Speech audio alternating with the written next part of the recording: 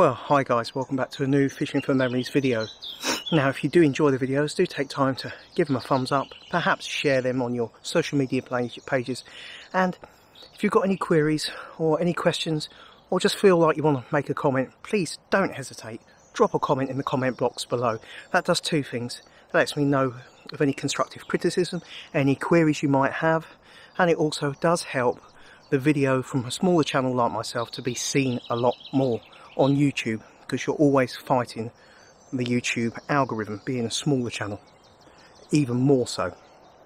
Anyway so what are we doing this fine very crack of dawn morning?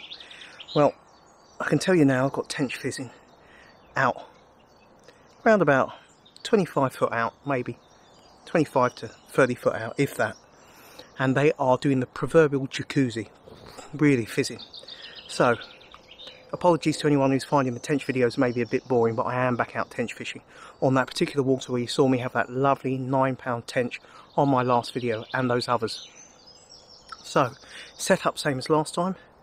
Very compact setup. You can see that that's a Shimano STC, that's Shimano telescope, teles uh, Shimano travel concept even, telespin. Very compact, breaks down almost like a snooker or pool cue would. So the butt unscrews and slides in. I'll just show you how that's done. Simple as that. Locks in place. Locks, locks in. You've got your butt section done.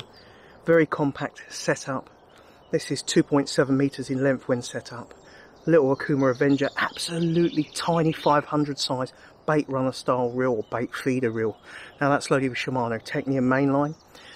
Running down from there is a low resistance ledger setup with a nice bit of uh, 10 pound sink braid little liner liner and right on the back there if you can see that is a micro maggot clip. Now you can use them for maggots. Who would have thought that as the name suggests? But I'm using them primarily for redworms now I'm putting three or four redworms on the maggot clip and air injecting them so they just lift off the weed bed and sit nicely almost critically balanced. Ground bait wise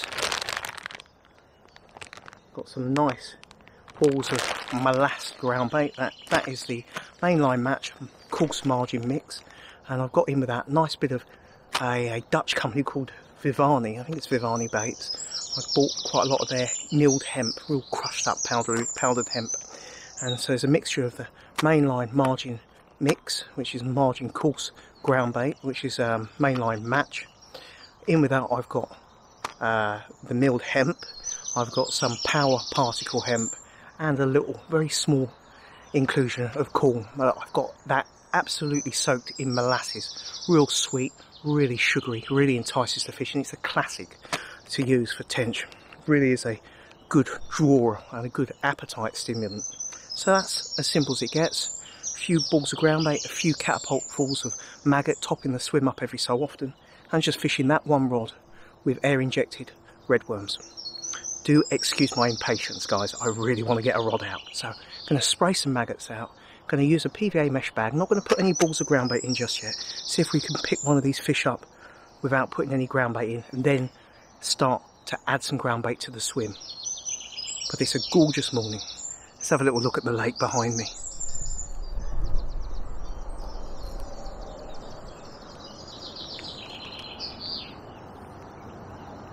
Now isn't that isn't isn't that gorgeous? What a fine morning. What a fine morning indeed. Anyway, let's get the rod set up. Let's get some pouchfuls of maggot out there and put some bait in.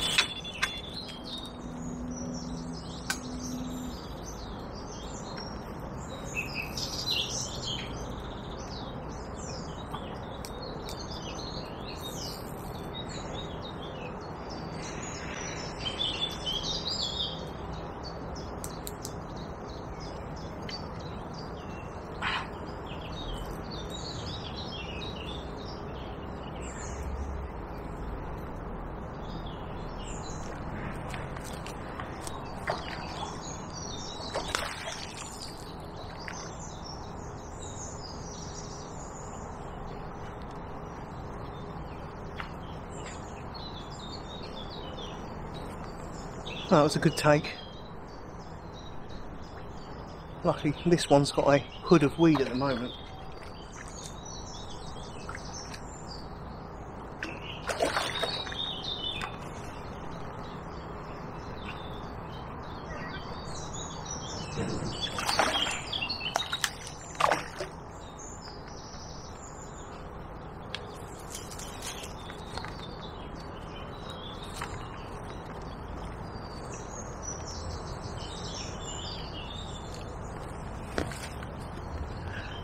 Well, very nice too. Struck that and I didn't manage to lock the bait runner too easily. I did let a little bit of line out as I lifted into the fish as it tore. That's a, another nice tension. Lovely Nick. Once again, just taking on the maggot clip with three air injected red worms. Little mesh bag of the main line spod and PVA pellets. And yeah, a little helping of ground bait, my last ground bait out there as well. With a little bit of crushed hemp and whole hemp. Little long fish, really, really thick set, really stout. Nice, nice weight about it as well. Anyway, let's get this rather rotund Tinca slip back, shall we? Wonderful.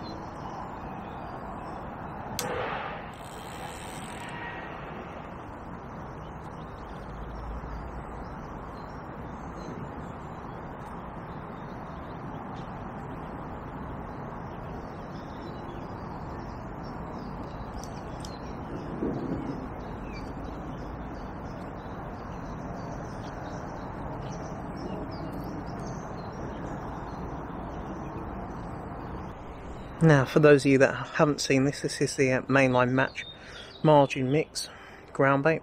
That's a mixture of crushed pellets, and um, there's crushed hemp in that as well. I've also put some hemp seed in there.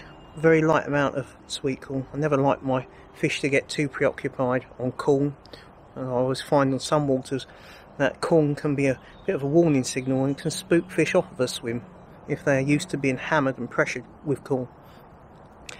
Now, in with that, I've mixed liquid molasses, which you can buy from any of your animal feed stores. You can get it on Amazon. That's where I get mine from. It's Lincoln, the one I use, and um, comes in a four or five litre bottle for around about twelve pounds. That's a real nice sugary flavour. Gives a nice dark colour to the ground bait, but it releases a real syrupy, sugary aroma that really does work wonders for most species of fish, especially tench though. And um, yeah, I make these up into big balls when I bring them then I bring them down and just break them down to whatever size I fancy which won't necessarily disturb the fish too much. So as you can see at the moment I'm using like a little golf ball sizes. I'm just dotting around the general area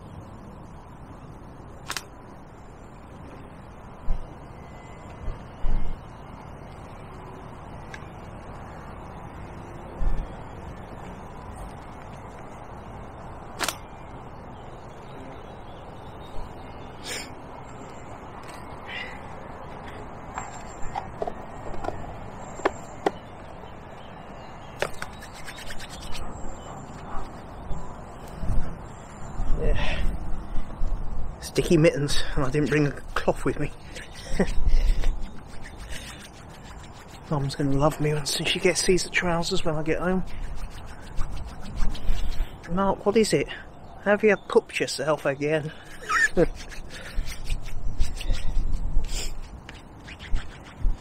really nice at the moment that it's clouding up. Got that breeze that's still pushing in here, causing a bit of a pain as I said earlier with the debris on the surface. But yeah, it's looking good for maybe another fish.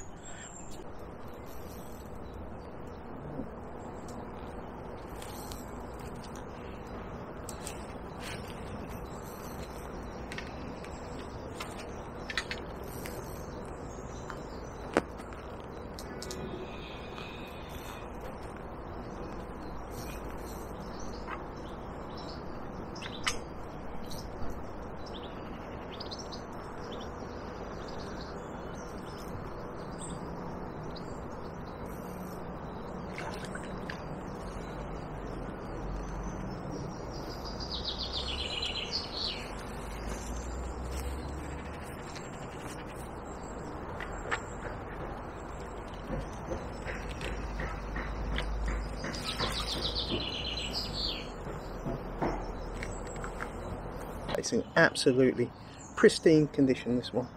Fighting fit. Doesn't really want to be held for the camera to be honest. It's a it's a feisty, feisty lady. yeah, very, very happy. It's been a decent trip. But the last two fish, the old crud has been collecting in this area of the lake. Really has collected and blown over. It's um, been a nightmare getting a decent line lay. Don't like my line coming off the bottom too tight, so trying to get it beneath the crud has not been easy. But yeah, happy days. It's a gorgeous looking Tinca. Look at that for a paintbrush paddle, eh? Lovely, lovely field, lovely olive green tones and buttercups.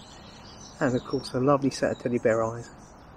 Let's get this lovely fish slip back.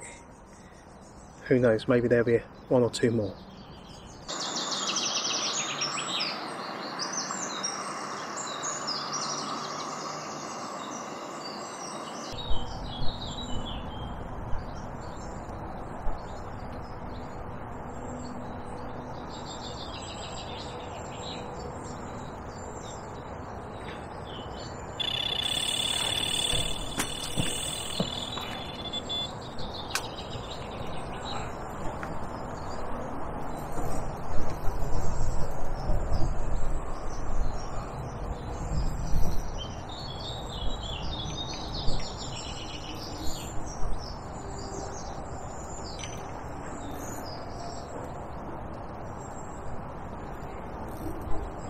Was just going to toilet again. Getting a bad habit of this, isn't it? Go to toilet and get a bite.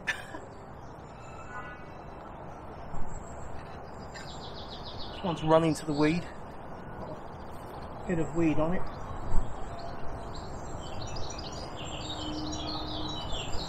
Typical. Seems to be lately I go to toilet, I get bites. Not moaning, believe me, I'm certainly not moaning.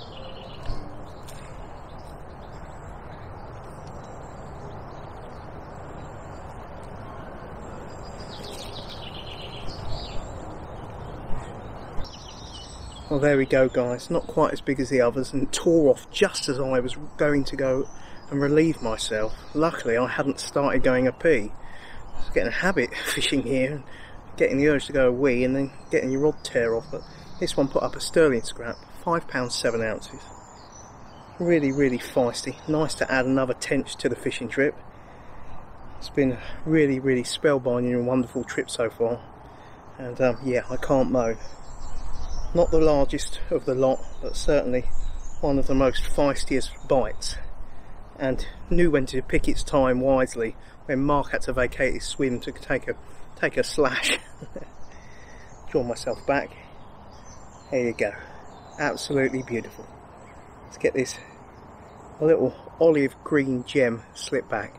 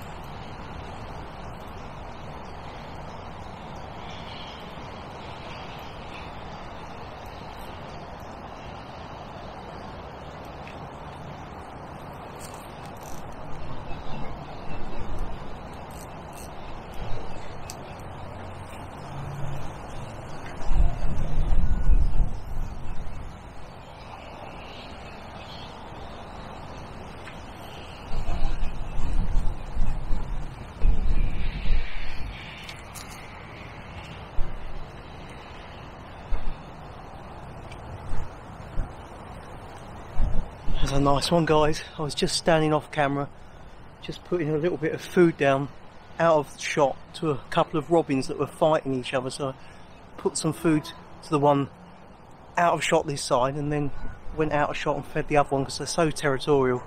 As soon as I'm doing that, the rod's melted off. I think that'll be the last one of the trip. I can head off home. Rather, rather a happy chappy.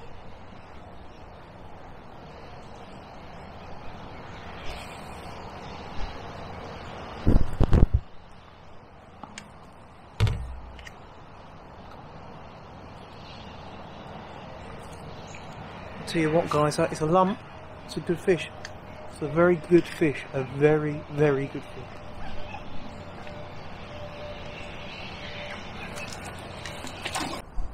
Well, feast your eyes on that, guys. What a fish. Second largest ever tench. Venue best for this particular water for me. Nine pounds, ten ounces. Should imagine early spring she'd be way over, way over double figures. But it's been a fabulous trip. And this has just sealed the deal. What a beautiful fish. Absolutely overjoyed, over flipping joyed. What a corker. Let me draw myself back a bit, give some better proportion. Look at that. What a thick, thick, stout, solid fish. And I'll tell you what, the rod did melt off while I was just off camera feeding a robin. ah. What a perfect day. What a way to seal a perfect trip. Let's get this beauty slip back. As I say, my second largest ever tench and a venue best. She's been very good for the camera. So let's say goodbye and slip her back for someone else to ho hopefully make their day one day. well, what a bloody surreal trip absolutely nuts. I, I am over the moon. I'm kind of like, kind of like here, but not all here. Kind of surreal, kind of weird, floaty feeling that you only get when you have a really good trip. But um, yeah, it's been a, been one hell of a good trip. Plenty of tench, some quality, quality tench, topped off by that absolute gorgeous nine pound ten Tinca. Wow. But yeah, that fish just picked up the bait as I was, as I said earlier, as I was feeding a robin next to, well, literally just out of shot round this tree that's just here behind me. And um, yeah, wow. But it's been a thoroughly enjoyable trip. The conditions did help. They changed from those more settled conditions and blew in a bit of a nice southwesterly pushing into my bank. Always helps on a, any lakes, no matter the size. If you can get the wind pushing into you, and even better a southwesterly, yeah, you were in with a chance of catching a few fish. And yeah, catch a few fish we did, didn't we? Oh, so amazing. So such an absolute and each one of those they've all got their own characters, they've all got their own battle, battle scars, they're different hues of yellows and greens and limey colours, and of course, as I said already, uh, various marks that they've picked up during their lifetime and they've lived and soldiered on. Even the irises on, on each of the fish, some of them are more bright or orange, others are more red. And um, it's such a nice variation, also a variation in the bites. Did lose one fish to a hook pull, but hey ho, that's the way it goes. The funny thing for was, before I had this 910, I thought to myself, you know what, it's probably worth a recast. I think it was a little bit off with your cast. And I recast, got back on where I felt, you know, on the money. And um, yeah, the rest, as they say, is history. Uh, yeah, my second largest tench, and my largest from this venue. So venue best for this venue, um, and another nine in a short matter of trips. What what is going on, honestly, guys? But yeah, you can't beat what I was doing. What I've been doing is using air injected red worms on a maggot clip, simple running ledger, low resistance setup keeping it simple, giving the fish naturals which they love. If you're fishing a water that's rich in naturals and you haven't got too many perch or rudd causing you a menace at the time, I always go with naturals, and that includes nighttime fishing for tench. I'm happy to use naturals at night. Anyone that says that naturals don't work, forgive me for saying this. Anyone that says that naturals don't work for tench at night, they that it's, it's really not the one. Don't that, that's not the case at all. Naturals, you look at a worm, you look at the amino acid compound, you look at that leak off, you look at the level of protein it's got. It's, it's an original classic high protein bait, so why wouldn't it work at night? I've used worms at night for chub fishing, for barbel, work fine. Why wouldn't they work for tench at night?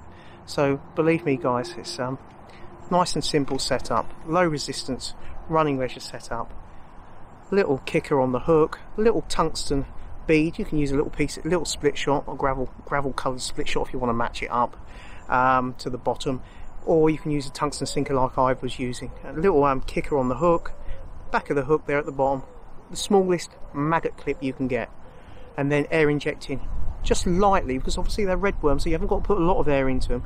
Injecting very lightly in the ends of each red worm.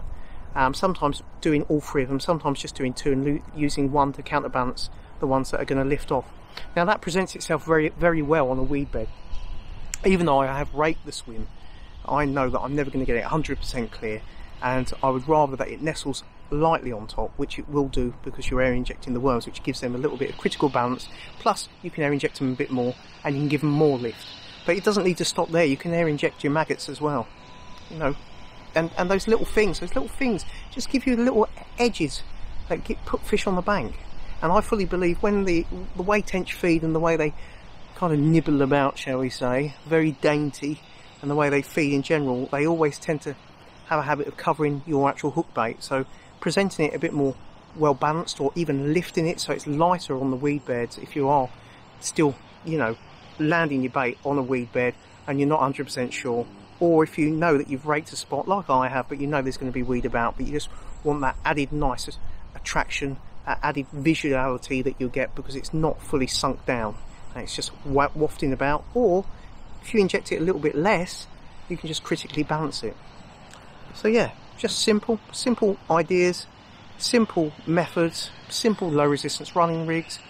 I really not one for really going that short with my tench rigs. I got to be honest I do have a difficulty to, to actually tie a very very very short tench rig so I don't go that short with them. What I try to do is make sure if I am fishing a running rig, I'm fishing in a reasonably clear area. If I've, you know, I might have led it about prior to feel around to see it's clear, but nine times out of ten, I will have definitely raked a spot. But that's it, guys. It's been enjoyable. I hope I haven't bored you with all these um, tench videos that I'm putting out. Um, I've been really enjoying fishing for them, and um, as you can probably tell, very impassioned species for me. I absolutely adore them. Anyway, thank you for watching. If you've got any comments, drop them down below. I'll try and get back to you as soon as possible. Or just uh, follow me on Instagram at Fishing for Memories. And um, I'm always readily available on there to answer any questions that you might have, give any advice that I can possibly give. And um, yeah, always good to hear from you guys. Anyway, still got my rucksack to shut, and I'm going to get on my e-bike and I'm going to make my way home. But I'm going to make my way home one hell of a happy guy. Cheers for watching guys. Till my next video, take care and tight lines to all of you.